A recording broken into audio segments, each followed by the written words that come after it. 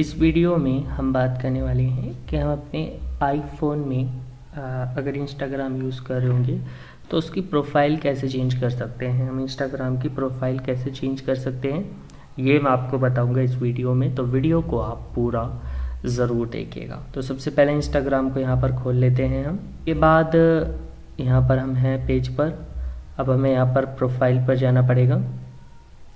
Profile पर जाने के बाद, यहाँ पर आपको दिखाई देगा यहाँ पर। एडिट प्रोफ़ाइल एडिट प्रोफ़ाइल पर जाइए। और यहाँ पर आपको दिखाई दे जाएगा वॉलपेपर यहाँ पर इस पर टिक करिए। And add to profile picture इस पर आपको टिक कर देना है। और, यहाँ पर जो है प्रोफ़ाइल खुल जाएगी उसके बाद।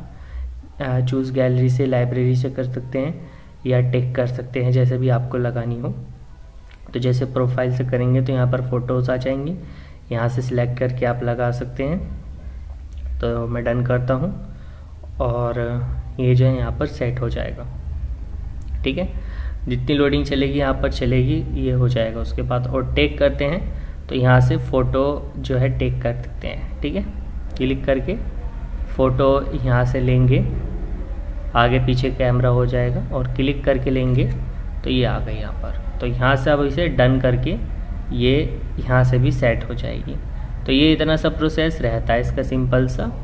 अगर वीडियो अच्छी लगी हो तो लाइक कर दीजिएगा और चैनल को सब्सक्राइब भी कर दीजिएगा।